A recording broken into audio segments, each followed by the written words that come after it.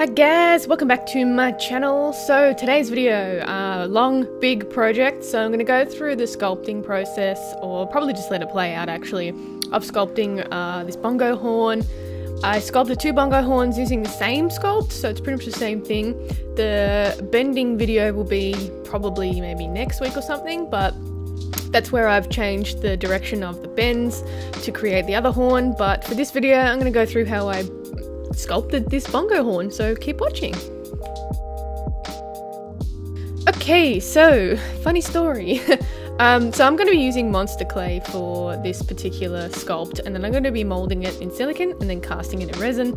So I marked out a 70 centimeter uh, space for the horns because the Calgary Zoo requested the horns be 70 centimeters or thereabouts.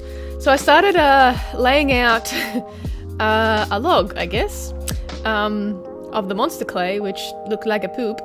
And uh, so, yeah, so where my tape is, I started measuring uh, and laying out the whole of the monster clay. So the monster clay is a wax-based clay and it doesn't go hard, but it you can melt it in the microwave. So I melted it in the microwave and then I'm just uh, laying out the size and then once it's roughly the, the, shape that I'm happy with, I can start bending it into shape and sort of shaping all the curves and stuff while it's still, uh, while the clay's still warm. But um, I once this has been shaped and I'm happy with the way it looks, I need it to dry or need it to cool for um, for it to be able to hold its own weight because it is wax based and uh, it is quite malleable when it's hot or warm. Uh, so and it is quite thick this time, so I had to let it dry pretty much overnight uh, or cool overnight to be able to lift it up to um, continue the sculpting. And as always, I've always I've got reference images over on my computer to make sure I'm sculpting it the right way, because uh, they are horns, and the zoo wanted a pair of horns, so I've got to make sure that the curves and the bends are in the right place. So once I'm happy with the um, basic shape, I can start smoothing everything out, and uh, it's quite cool at this point, but cool enough not not but cool enough to keep keep it a little bit malleable, and uh, I can sort of make it a bit smoother. So what tool I'm using is a rake tool and I have a video over on my Patreon on how I made that rake tool. It's um, got a really fine tooth on it which I can drag across. So if you want to know how I made it it's over on my Patreon. You'll get access to it for my $5 and up tiers. Um, but yeah heaps of stuff on there. Link is in the description as well. So once I'm happy and I've sort of smoothed out most of the horn I can start adding those curves. I added basic preliminary curves uh, at the beginning, but now I want to make them more of a sharper edge. So I'm basically uh, just applying some of that that hot clay. Uh, just be careful that you don't burn yourself uh, onto the edges of the horn, and I, and I'm sort of creating an edge with my fingers, and then smoothing it out again with that rake tool that I mentioned earlier. Um, and I did this throughout the whole horn, and I sort of had to redo it when I did the second horn as well because I had to sort of mess it up a little bit to bend it the other way. And this is also a different rake tool. It's got a loop on the end of it with a sort of beveled edge, and that's just to take like more of a chunk off um, the actual sculpture. So you can get these in any clay packs. I got this in a pottery pack that was really cheap. So um, check it out in your local craft store. You'll find something, a pack of tools that um, have heaps of different things in it.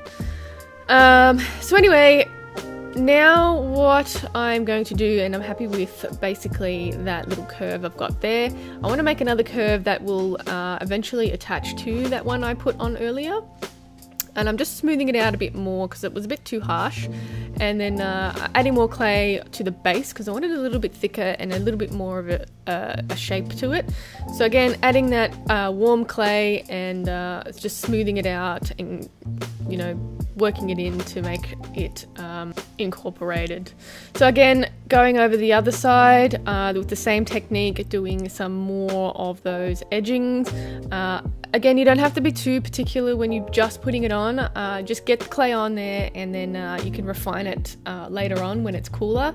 So that's basically what I'm doing here. I'm using, again, my rake tool and just filling in little bits and pieces that I uh, think need a little bit more clay and just, again, going over it with the rake tool. So at this point, I got my smaller replica that I made for the Calgary Zoo of the Holl doll, just so I have a 3D piece in front of me. Uh, I did sculpt these horns um, as well, but they're obviously not as detailed as these horns are going to be because they're quite small. So I basically had, um, to get the curves right, I wanted a 3D shape uh, right in front of me. And then I can uh, work a bit better and uh, didn't realize the camera was focusing on the horns and not my work. so now, now that I've added all the clay, I can start going over and refining again with that clay, uh, with that uh, rake tool uh, and making the clay all smooth. Once you have smoothed it all out, uh, with the rake tool, it leaves like little grooves in it, which you can then smooth out using some isopropyl myristate or uh, a mix of uh, the myristate and isopropyl uh, alcohol. And that way, that will um, that will make the clay a bit smoother and it'll also evaporate once it dries as well. So, uh, good tip if you wanted to smooth something out to use that particular uh, product. I get mine from Barnes here in Australia, um, but I'm sure you can find it at any like molding supply store or like special effects store or specialty craft stores or something. Um, but yeah, I find it really handy, and I just use a uh, paintbrush to apply it and just smooth it out. It sort of melts it a little bit, and um, you can get that smooth texture. Um, just maybe use a softer brush because it can leave some uh, marks in the actual sculpture.